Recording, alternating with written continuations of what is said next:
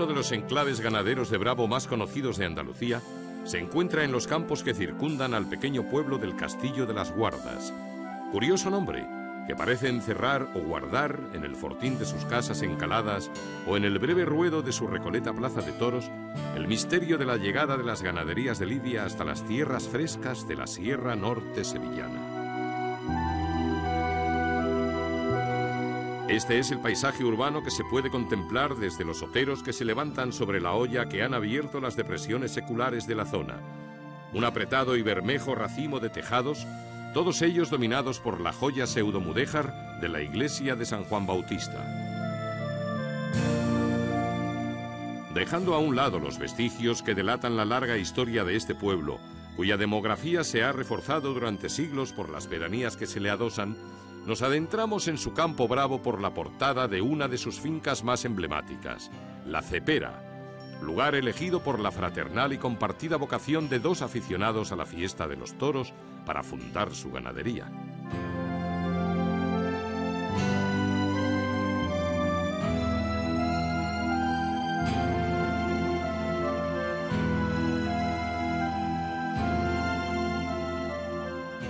Hasta las tierras quebradas del Castillo de las Guardas trajeron una punta de ganado bravo los hermanos Ángel y Juan Antonio San Pedro para disfrutar conjuntamente durante más de seis lustros de la aventura que propiciaron sus dos grandes aficiones, el campo y el toro. Esta ganadería se la compraron mis tíos a Antonio Honorato Jordá, que era un ganadero que había tenido otro tipo de encaste, pero lo eliminó todo lo que tenía y le compró heralas y dos sementales a Juan Pedro Domé y Esto puede ser hace aproximadamente unos 60 años.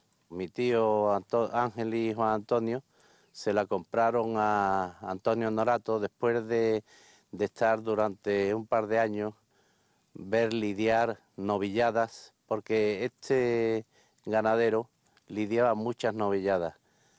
Eh, muy pocas corridas de toros, pero lo lidiaba casi todo en novilladas. Y entonces pues se le compró toda la ganadería, todas las vacas, que quiero recordar que fueron unas 140 vacas y seis sementales, que es lo que se le compró a Antonio Norato. Nosotros, vamos, después mis tíos, Antonio y Ángel, eh, estuvieron bastante tiempo lidiando novilladas, solo y exclusivamente. Lidiaban muchas, sobre todo también lidiaron muchísimas novilladas en Sevilla. Tanto es el caso que, que lidiaron en una sola temporada cuatro novilladas en Sevilla, que bueno, eso decían que si era un atrevimiento el lidiar tantas novilladas en, en, Sevilla, pero le resultó muy bien y ya posteriormente ya empezaron a lidiar corridas de toros.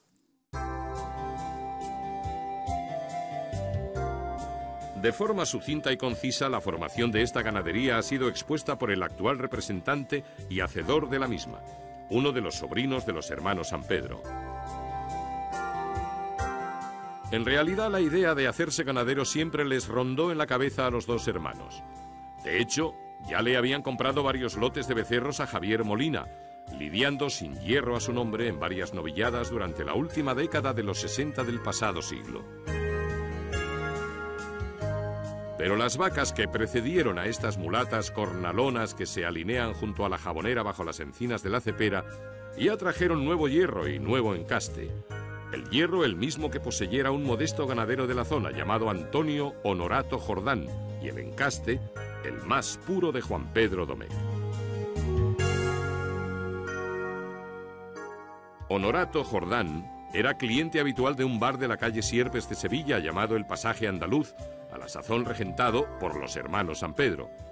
Tan estratégico emplazamiento permitía el trasiego de gentes de coleta y corredores de fincas ganaderas, lo cual facilitó el cambio de propiedad de una explotación de Bravo en plena extensión.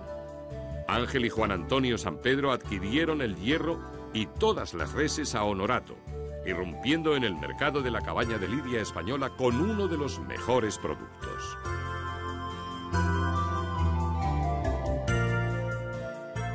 La transacción tuvo lugar en el año 1970.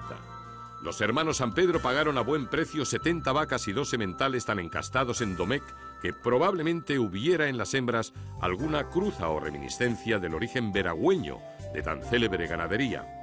De ahí que aún se puedan ver los pelos blancos en alguna de las vacas o becerros que deambulan por la cepera.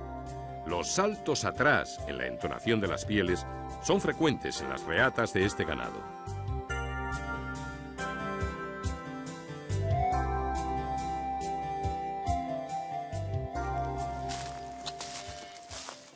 Florencio, ¿tú has visto si ha nacido algún becerro que haya que acrotarlo ahora? Sí, he visto un par de vacas que están recién paridas. Pues vamos a intentar acrotalarlos ahora, ¿parece? Muy bien. Ya, pues vamos para allá.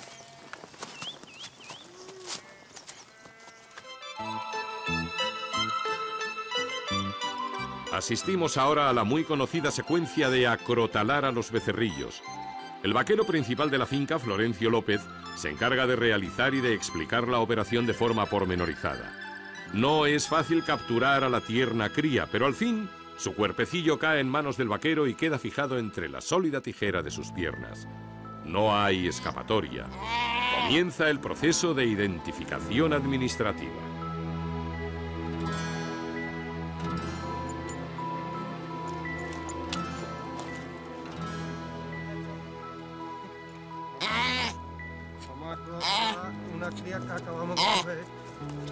Una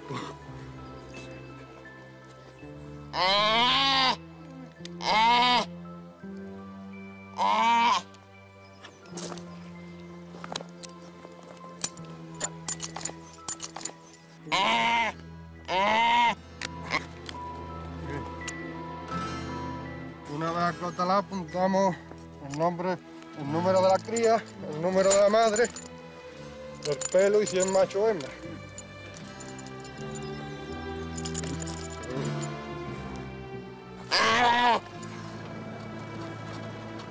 El becerro es transportado en el habitáculo abierto de la camioneta para ser incorporado a la manada de vacas de vientre que andan merodeando por entre el forraje y el pienso esparcido sobre el pastizal. La madre está impaciente, aguardando su regreso.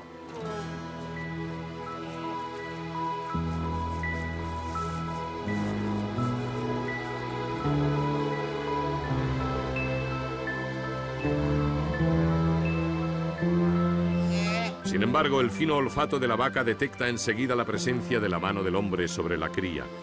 Por este motivo, el reencuentro no es efusivo, precisamente.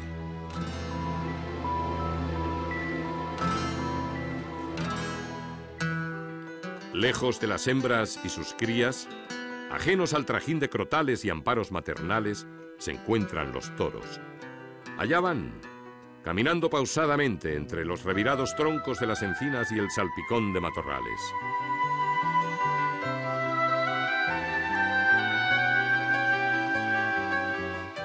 Ahí están plantados sobre la escasa hierba a la sombra de encaje que proyecta el enramado y protegidos por la corteza que envuelve troncos centenarios.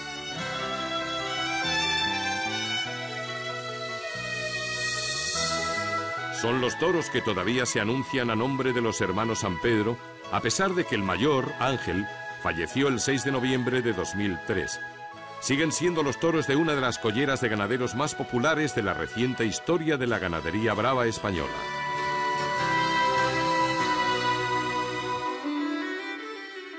Recios y elásticos, bien armados y de carnes proporcionadas, los toros que se integran en la camada de cuatreños cuidan su condición física para complementarla con la química que les hace únicos entre los de su especie, la bravura.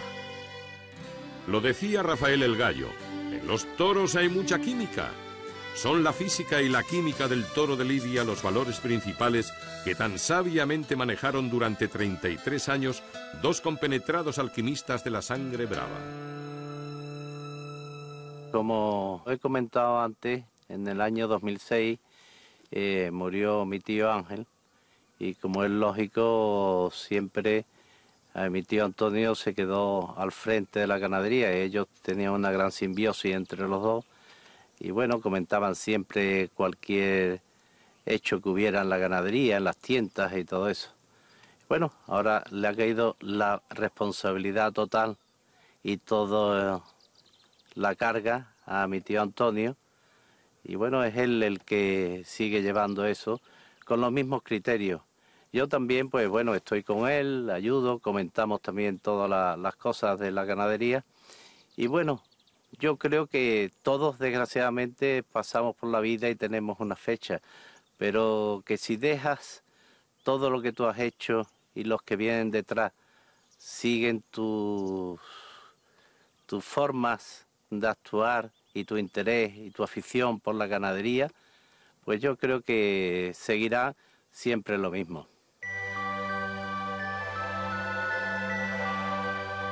Ángel Fernando San Pedro Abascal es hijo de José, uno de los hermanos que componían la extensa prole familiar de los San Pedro. Los mayores, los ganaderos y el menor Vicente, fallecido prematuramente. Sin hijos, Ángel y Juan Antonio, la muy nutrida nómina de sobrinos, 15 en total, no se distingue por su afición al campo bravo. Por tanto, solo el sobrino Fernando se ha decidido a continuar aquella hermosa aventura que iniciaron sus tíos y se ocupa personalmente de dirigir la trayectoria de la ganadería, planificando el manejo, salubridad y alimentación del ganado y compartiendo las operaciones selectivas con su tío Juan Antonio.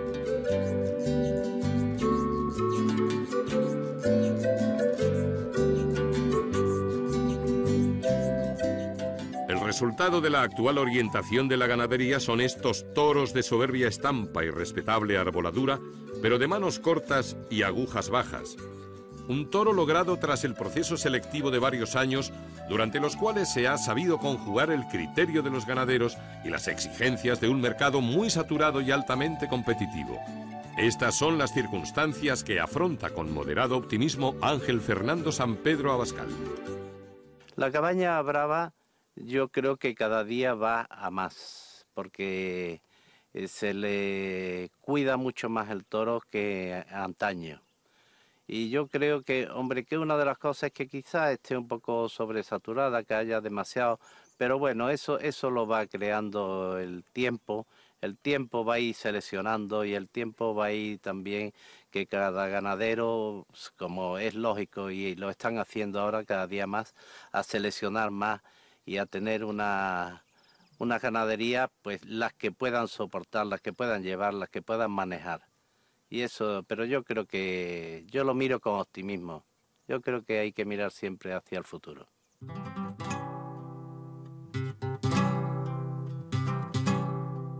La pequeña manada de machos que está apartada en su cerrado será sometida a una última selección para enlotar las corridas conforme a la demanda de la categoría de las plazas. El número 4 de la paletilla indica que podrán lidiarse en corrida de toros durante la próxima campaña. La hermosura y la armonía de la estampa de estos ejemplares es evidente.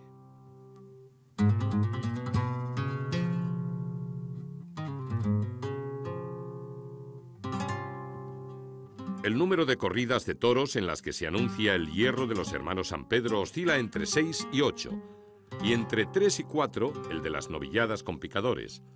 Por cierto, su mejor tarjeta de presentación en la etapa de lanzamiento de la ganadería en la década de los 70 y principios de los 80 del pasado siglo.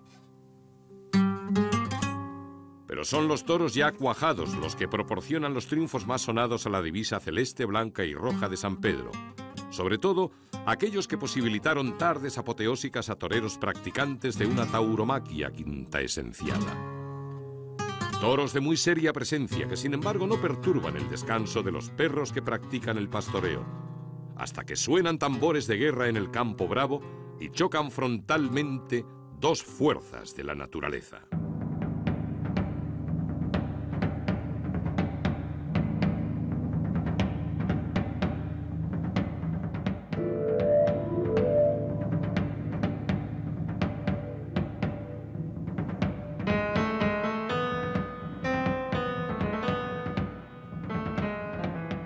Escaramuza ha derivado en dramática pelea. El perro, ya muy avezado en estas lides, se encargará de disolver a los contendientes.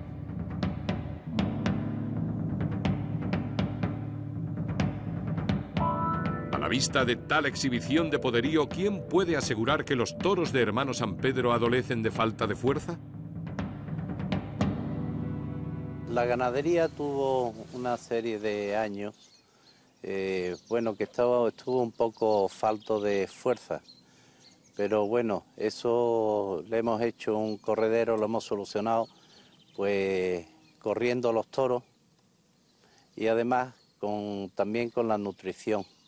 Eh, contratamos a un nutrólogo que nos estudió los piensos y entonces nos hizo la composición de, de piensos.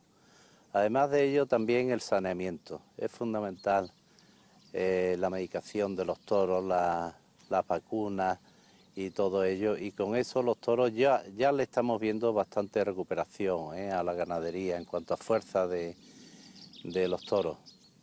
Y también, bueno, esto también era, eh, fue mi tío Antonio, en el precursor, el que más, vamos, se interesaba, eran los dos ganaderos, Ángel también, pero Antonio le puso más énfasis al cuidado de los toros y todo ello.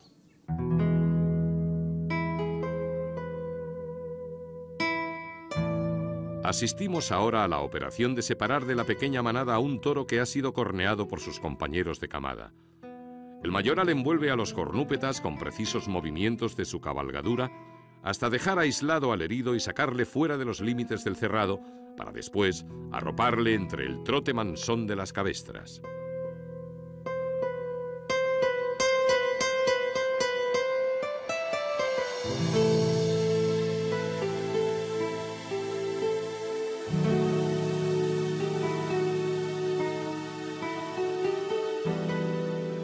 toro galopa por la mangada polvorienta, vallada de piedra, que conduce a los distintos encerraderos, uno de los cuales se utiliza como conducto de acceso al angosto pasillo enrejado que servirá de lugar de reconocimiento. Por delante el manso, inmediatamente detrás el bravo.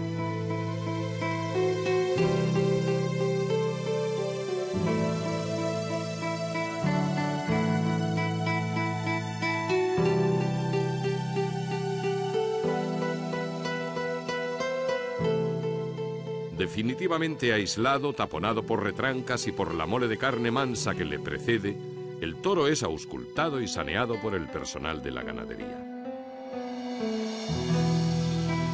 De momento el animal no precisa intervención quirúrgica, pero es imprescindible reducir las inflamaciones y atajar los procesos infecciosos. El toro que hemos metido, que es el número 24 de los toros de saca de este año, eh, hace eh, dos días, pues le pegaron una serie de cornadas y entonces deben de ser cornadas internas. El toro se ha inflamado un poco. Le estamos poniendo finadine, que es un antiséptico y es también un antiinflamatorio. Y con eso ya hemos visto algo que el toro está mejorando y durante cinco días hay que estar poniéndole inyecciones de En la ganadería de los hermanos San Pedro, los toros de capas jaboneras siempre han ofrecido excelentes resultados. Tan es así que se considera pelo talismán en cualquiera de las camadas que aparece. Razón de más para que este becerrillo jabonero que ha perdido a la madre sea criado con especial esmero por el cuidador de las vacas. El biberón será su compañero alimenticio durante las primeras semanas de vida. Lleva una semana mamando, o mucho una semana. Después la madre ha fallecido le estamos creando biberones y hasta que no coja la teta, le estamos dando biberón. terminado. Hombre, al principio le costó trabajillo. Porque estaba acostumbrado a la madre, al principio costó trabajillo, pero ya le ve que va dando, va acostumbrado ya hasta que se acostumbre al biberón.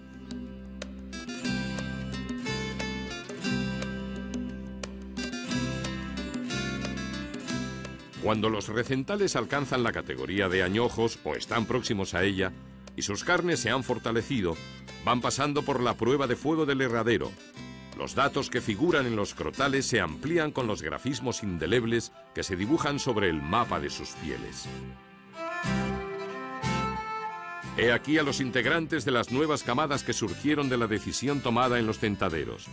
Una decisión compartida por tío y sobrino en la que alcanza especial relevancia la palabra clave en esta ganadería, arte. El tipo de toro, de, toro que a mí me gusta, pues, es el que se vea el arte. El que tiene arte quiere un toro que le venga bien, un toro de arte, pero, pero que le venga bien. No el toro con esa fiereza de... Eso cada uno, cada torero tiene una forma de ser. Estábamos en la plaza en, Sevilla, mi hermano y yo. La corrida salió bastante favorable y a un toro pues le, cortaron las dos orejas y el rabo. Y había que ver la cara de Diodoro Canorea. Él siempre llevaba una corrida de las nuestras o una novillada, lo que le agradaba mucho. En esta foto es una novillada que dimos en Sevilla que le cortaron lo menos ocho o diez orejas. Y el picador era Antonio Domínguez. Y se ve aquí como el toro empuja para adelante y hace un oval del palo. Esto era un tentaero que dimos y Curro Romero era también muy amigo de, Soto, de José María Soto de la Fuente, que, ya ha muerto. Y mi hermano también. Total que pasamos una tarde muy, muy agradable y las becerras que salió bastante bien el tentaero. Los toreros que empezaron a tentar aquí fueron eh, Emilio Oliva y Julio Vega Marismeño. Ellos estuvieron, hasta que estuvieron en activo, estuvieron tentando aquí casi todas las camadas. Ya después de Julio y de Emilio eh, venía Manili, ha venido también Fernando Cepeda, han venido Talavante, ha venido Curro Romero, Rafael de Paula, siempre, bueno, toreros de generalmente que tenían mucha sensibilidad.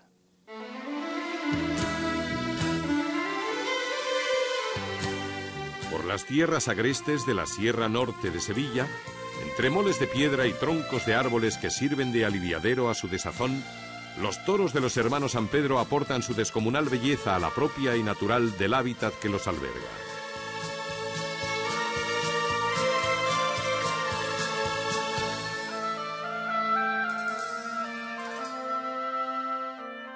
Toros y vacas se reparten las 650 hectáreas de la cepera, un territorio ganadero de empinadas cuestas y finos pastos, profusamente poblado por alcornoques y encinas, las especies arbóreas dominantes en estos campos serranos, donde de cuando en vez merodean algunas piaras de cochinos al olor de la bellota cuando llegan los meses montaneros.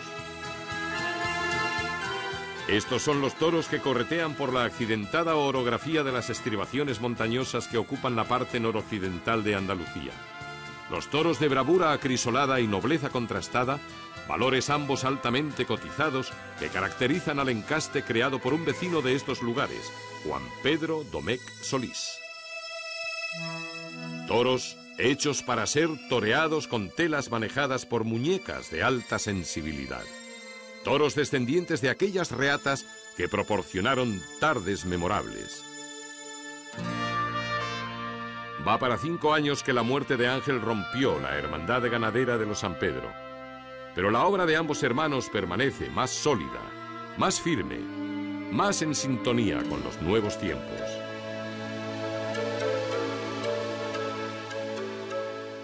Hay sin embargo un factor diferenciador que identifica a estos toros que remueven con la pezuña la tierra seca de los cerrados limitados por vallados de multiforme mampostería.